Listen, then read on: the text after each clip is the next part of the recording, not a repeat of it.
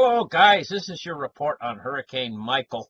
Uh, as it steams toward the Florida Panhandle, let's open the charts right here and let's take a look at this. Uh, this is Hurricane Michael, and this is the current information from the National Hurricane Center. Uh, 24.5 degrees north, 86.1 degrees west. Maximum sustained winds 100 miles an hour. This is intensified rather quickly overnight maximum movement is to the north-northwest at 12 miles an hour. That's a fairly fast hurricane move forward movement speed. Uh, now, this hurricane is going to develop probably into a category three. Uh, so it's going to be a very intense storm. It's going to slam into the Florida Panhandle. Looks like. Uh, here's the charts. Now, uh, this is the tropical storm wind force speed charts. Uh, and here we go. Here's the hurricane force wind speeds. So see, mostly the hurricane force wind speeds, it's just this little red area right there where the, it touches the Florida panhandle. Uh, now here's a satellite imagery of the for, of the storm, and we can see the eye developing as it moves out over the coast of Cuba into the open waters of the Gulf of Mexico. Now, the Gulf of Mexico is very, very hot this time of year. The waters are very hot, and this feeds hurricanes. This will help the hurricane to intensify as it moves toward the Florida panhandle. Now, I'm going to show you uh, the intensity charts that they're expecting.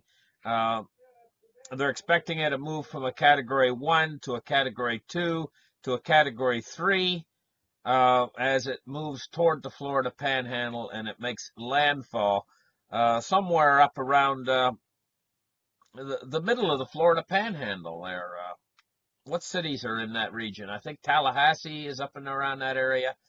Uh, here as we see the storm's development and radar, and this is an all-important chart right here.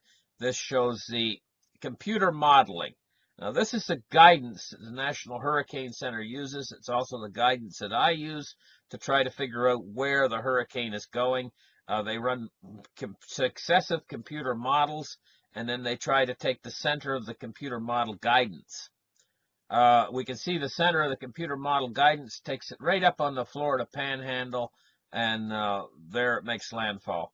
And so it's not too many days from now, if you're in that area, uh, where in the Florida Panhandle there, you probably want to start hurricane preparations, which would include uh, getting some flashlight batteries for yourself, flashlights, possibly boarding up uh, if you've got large windows, especially uh, great big like picture glass windows, you would probably want to think about covering those up uh, because they can shatter.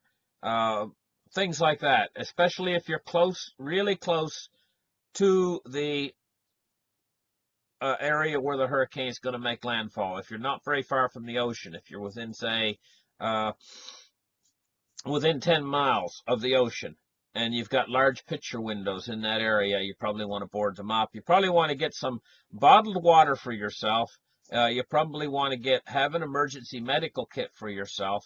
Uh, and if they make rec recommendations for you to evacuate the area. You want to uh, uh, listen to what the uh, uh, what the experts have and and do what they tell you to do. You know, if if the police come and tell you you need to leave the area, you want to respond to the police and do exactly what they tell you to do. In, in this case. And so uh, what we see here is the pressures of the hurricane. We see them dropping very quickly. Uh, on the last report, it was 9 point, uh, 973 millibars. Uh, now it's 968. That's a bad sign, the fact that the pressure is dropping very rapidly.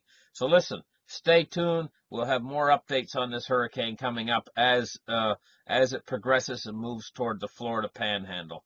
Bye bye, guys.